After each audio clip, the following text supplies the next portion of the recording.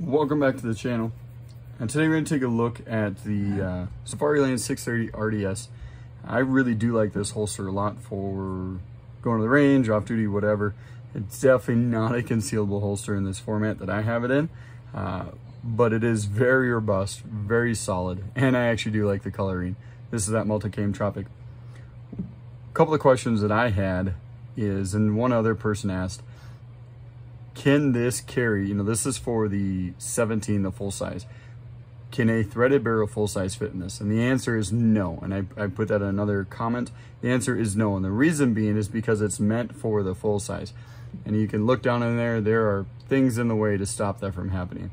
If you want a Glock 17 with a threaded barrel fit, buy the one for the Glock 34, the full size, the full slided um, competition, whatever you want to call the extended length uh, extended slide version of the Glock 9 mil. So that's what you'd buy, and then you can do the threaded barrel for that, but of course then you cannot carry a Glock 34 threaded without doing something else, which is probably removing some stuff in there that you don't want to remove. So nonetheless, uh, that was one of the questions that other people had, so I'll answer that.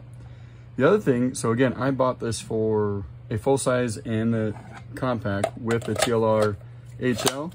Fits in there nice. Someday I might go optic, so that's why I bought the optic one. Works out great.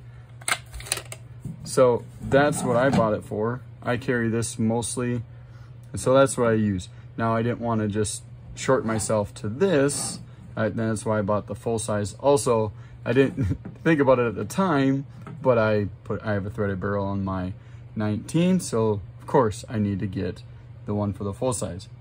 I didn't think about that ahead of time, I'm glad it all worked out and uh, I didn't over, I didn't have to spend again to buy the holster I needed.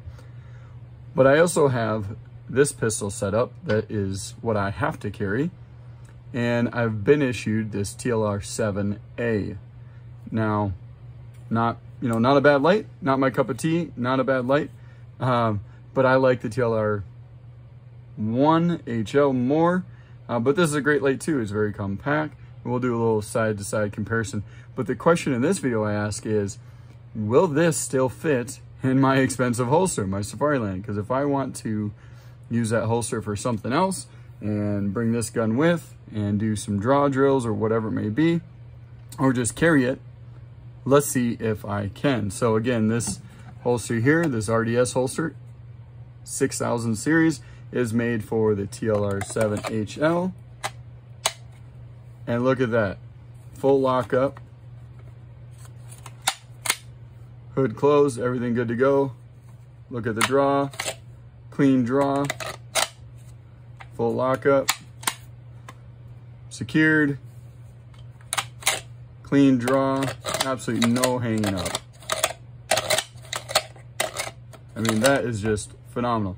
Now, it to those that know anything about anything that uh, would make sense, right? So unlike other holsters, the Safariland 6000 RDS, you know, 630 RDS, does not grip onto the light. It grips onto the firearm so and locks in the ejection port door. The door, the ejection port.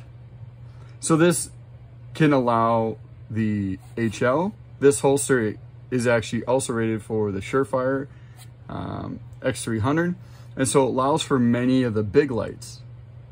Well, the TLR7 is a thinner light, is a smaller light, streamlines with the gun, uh, does not have the big bezel.